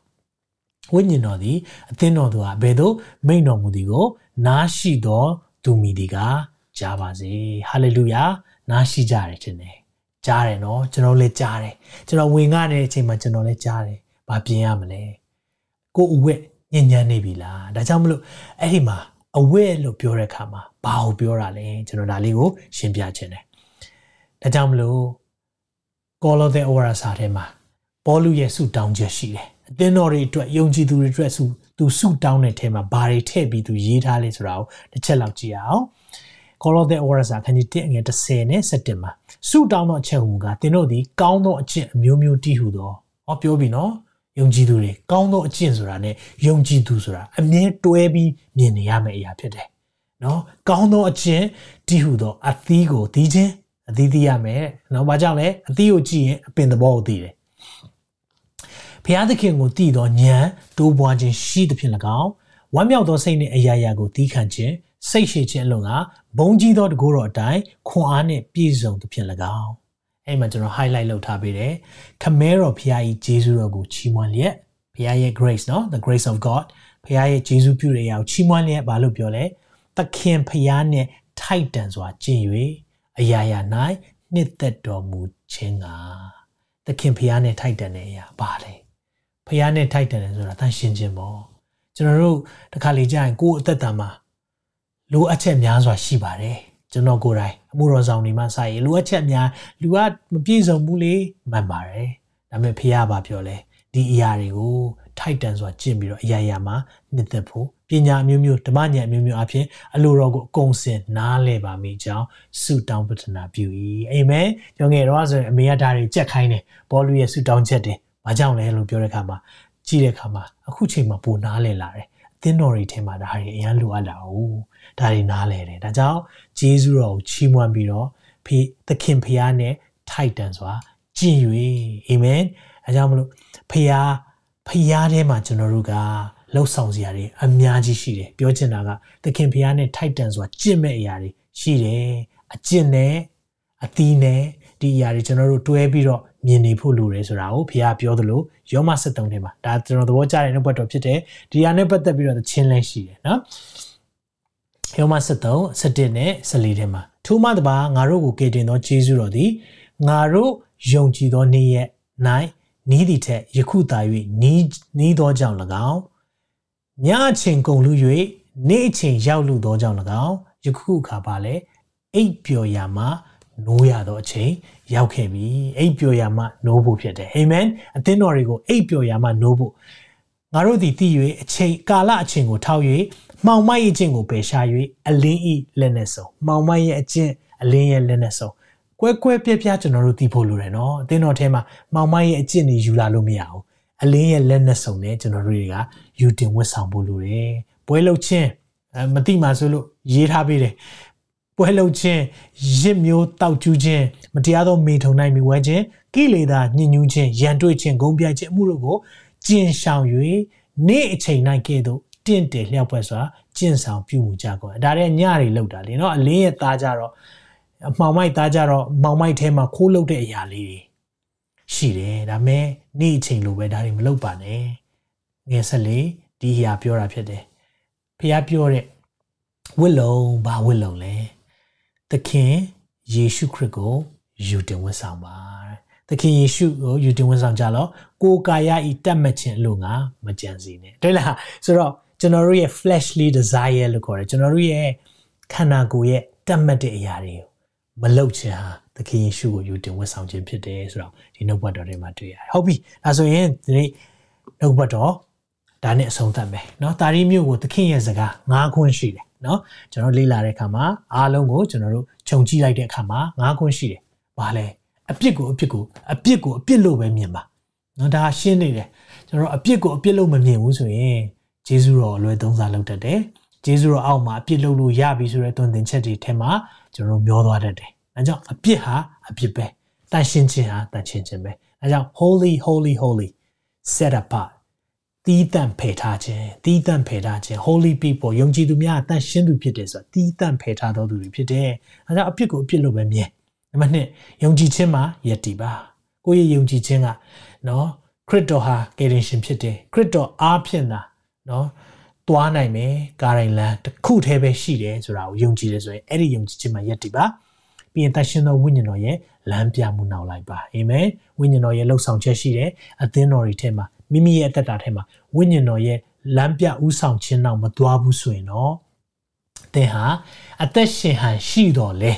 သိတယ်လို့သခင်ကမြင်တယ်။ဒါကြောင့်တန်ရှင်သောဝိညာဉ်တော်နဲ့သွာလာတတ်ပါစေ။တမာတိရှိပါ။နော်အိမ်ငိုင်းနေလို့မရဘူး။မြို့ရိုးပြိုပြက်သွားတယ်။နော်မြို့ရိုးတိုက်သွားတယ်။ဘာကြောင့်လဲ။ဂင်းသဘာအိမ်ငိုက်တယ်။နော်ထုံနီ၎င်းပဲကျွန်တော်ရဲ့မိသားစုကတင့်ကိုအိမ်မှာကင်းဆောင်အနေနဲ့ထားထားလား။ ဘုရားကင်းဆောင်ဆိုတာဆူတောင်းခြင်းအပြင်ထားရဲဆိုရင်ကင်းဆောင်ပါနိုင်မီအိပ်ပျော်ခြင်းမရှိပါနဲ့တမာတတိနဲ့ရှိပါပြီးရင်အရေးကြီးဆုံးစကားပါလဲနောင်တရပါကျွန်တော်လှုပ်ဆောင်တဲ့ဟာမှာယွန်းခြင်းတွေရှိလားရှိတတ်ပါတယ်ဒါကြောင့်လည်းဖေကနောင်တဆိုတဲ့အရာနဲ့ကျွန်တော်တို့ကိုအမြဲတမ်းလမ်းပြန်ဖွင့်ပေးတယ်အာမင်လမ်းပြန်ဖွင့်ပေးတယ်ကျွန်တော်သွားနေတဲ့လမ်းမှာယွန်းသွားတတ်တယ်ဒါခါလေးမှန်နေတဲ့ဖေကဖေကဖက်ကိုပဲဥတီသွားတယ် ဒါပေမဲ့အပြစ်လုပ်ပြီးဆိုရင်အမြဲတမ်းလမ်းကလွဲသွားတာအဲ့ချိန်မှာနောင်တဆိုတာဟာလမ်းမှန်ပေါ်ပြန်တင်ပေးတာအဲကြောင့်ကျွန်တော်တို့တွေဟာအမြဲတမ်းအပြစ်လုပ်မိတယ်တခုခုဖြစ်သွားတယ်နော်အဲ့ချိန်မှာနောင်တနဲ့ဘုရားရှင်ခွင့်လွှတ်ပါဆိုရင်လမ်းမှန်မှပြန်ရောက်တယ်ဟာလေလုယာအဲဘုရားရှင်အရန်ကောင်းမြတ်တယ်ဒီနှုတ်ပတ်တော်တွေဒီနေ့ကြားတဲ့အခါမှာသင်ရဲ့သက်တာဘုရားပြုပြင်မယ်လို့ထင်တယ်ကျွန်တော်ဒီတာရီအသင်းတော်ကြီးတဲ့အခါမှာကျွန်တော်သက်တာမှာဝိညာဉ်တော်နဲ့တွာလာခြင်းဘယ်လောက်ရေးကြီးလဲ နောက်ပြီးရင်သခင်ဖရာသခင်ယေရှုအားဖြင့်သာခမဲတော်ထံရောက်နိုင်နေဆိုတာဘယ်လောက်အရေးကြီးလဲဒါတွေကိုပြန်ပြီးကိုကိုအမှတ်ရစေတယ်မိတ်ဆွေရဲ့သက်တာမှာသခင်ယေရှုကိုမသိသေးဘူးဆိုရင်ဒီနေ့ဟာလက်ခံရမယ်နေဖြစ်တယ်သခင်ယေရှုတပါးတီကပဲသင်ကိုထာဝရတတ်ပေးနိုင်တယ်လောကကြီးမှာအဲ့လိုမျိုးပြောရဲတဲ့သူတယောက်ပဲရှိတယ်သခင်ယေရှုဘုရားပဲရှိတယ် သူပဲပြောခဲ့တာသူ့ရဲ့ပြောကြားချက်ကိုတက်သိထူတယ်။ဘာနဲ့လဲရှင်ပြန်ထမြောက်ခြင်းသေခြင်းမှန်ကိုအောင်ခြင်းနဲ့တက်သိထူတယ်။လက်ဝါးကားတိုင်းပေါ်မှာအသေးစိုးနဲ့တည်သွားတယ်။ဘာကြောင့်တည်တယ်ထင်လဲ။မိတ်ဆွေကိုသိချင်လို့မိတ်ဆွေရဲ့အပြစ်ကျွန်တော်ရဲ့အပြစ်။အော်ဖခင်ကအားလုံးခွင့်လွှတ်လိုက်လို့မရအောင်လား။ဘာသာဘာသာတစ်ခုကတင်တယ်။ဖခင်ဆိုတော့ကြိုက်တာလုပ်လို့ရတယ်လေ။ကျွန်တော်တို့အပြစ်အားလုံး तू ကအေးမထဲ့တွက်တော့ဘူးကွာလွတ်ပါဒါဆိုရင်ဖះကိုတင်ပါခေါ်လိုက်တာဟုတ်သေးလားဖះဟာ ဖြောက်မှတ်တော်သူမဟုတ်ဘူးလို့ခေါ်လိုက်တာမတရားတော်သူလို့ခေါ်လိုက်တာ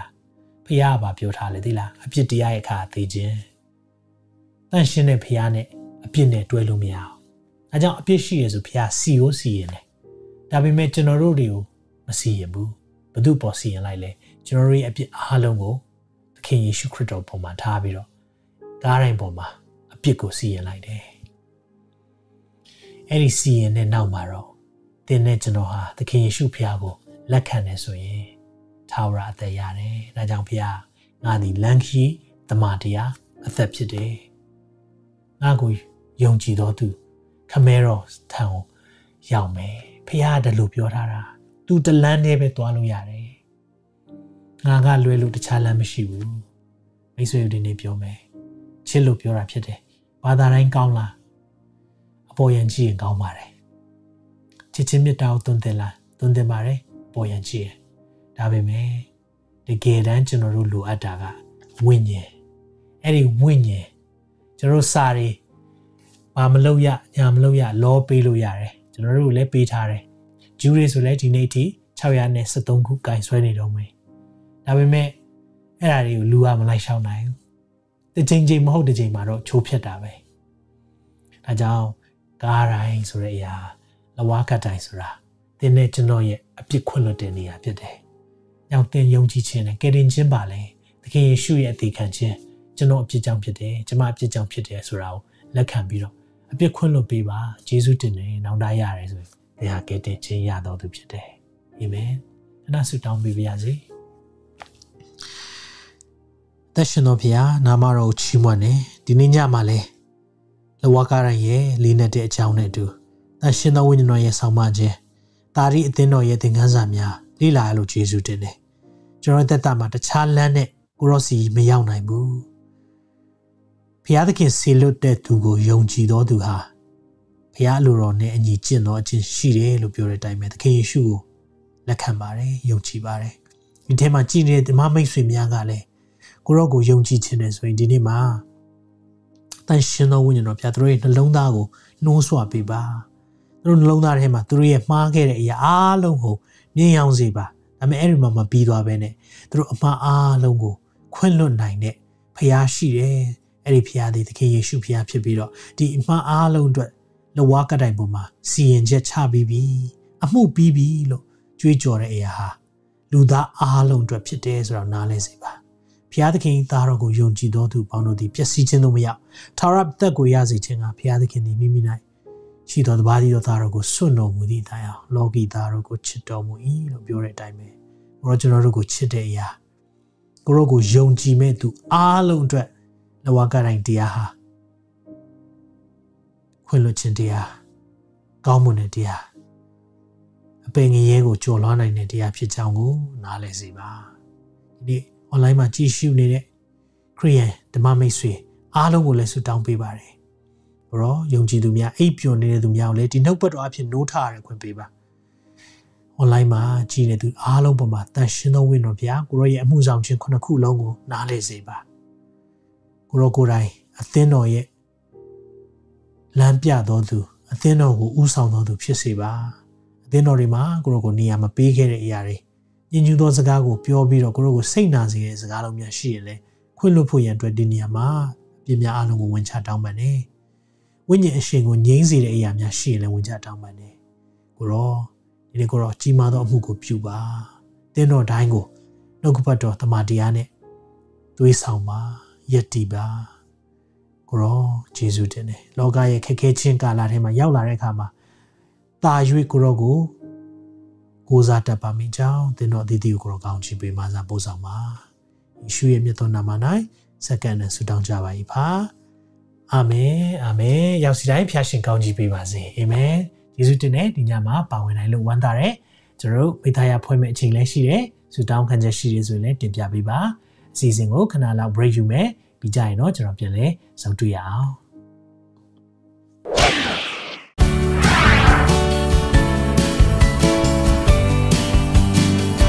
2015ခုနှစ်ကစတင်ခဲ့တဲ့မြန်မာ Worship Ministry အားဖြင့်လူပေါင်းမြောက်များစွာနဲ့အသင်းတော်ပေါင်းမြောက်များစွာကောင်းကြီးမင်္ဂလာခံစားခဲ့ကြပါတယ်။ငါးနှစ်ကြာပြီးတဲ့နောက်2020ခုနှစ်မှာလည်းဘုရားသခင်ရဲ့နိုင်ငံတော်တာ၍ကျယ်ပြန့်စွာလှုပ်ဆောင်နိုင်ဖို့ရန်အတွက်မြန်မာ Worship Ministry နဲ့လက်တွဲပါဝင်ဖို့ရန်အတွက်ဖိတ်ခေါ်လိုပါတယ်။ မြန်မာ Worship Ministry နဲ့လက်သွေးလို့ဆောင်နိုင်တဲ့နီလန်၃မျိုးကိုပြောပြလိုပါတယ်။ပထမနီလန်ကတော့ prayer ပဲဖြစ်ပါတယ်။ဆုတောင်းခြင်းအပြင်မြန်မာ Worship Ministry နဲ့လက်သွေးပါဝင်ဖို့ရန်အတွက်ဖိတ်ခေါ်လိုပါတယ်။ဒုတိယနီလန်ကတော့ provisional ဖြစ်ပါတယ်။ငွေကြေးအပြင်လစဉ်လတိုင်းမှာမြန်မာ Worship Ministry ကိုပါဝင်ဖို့ရန်အတွက်ဖိတ်ခေါ်လိုပါတယ်။ မြန်မာနိုင်ငံမှာရှိသောယဉ်ကျေးသူများလည်းလွယ်ကူစွာဖြင့်ပါဝင်နိုင်မယ့်နည်းလမ်းများကိုလည်းပြင်ဆင်ပေးထားတာဖြစ်ပါတယ်။တတိယနည်းလမ်းကတော့ press report ပဲဖြစ်ပါတယ်။တင်းနှစ်တာမှာမြန်မာ worship ministry အားဖြင့်ကောင်းကြီးမင်္ဂလာခံစားရတဲ့ရာတွေကိုတက်တေခံဝင်မြခြင်းအားဖြင့်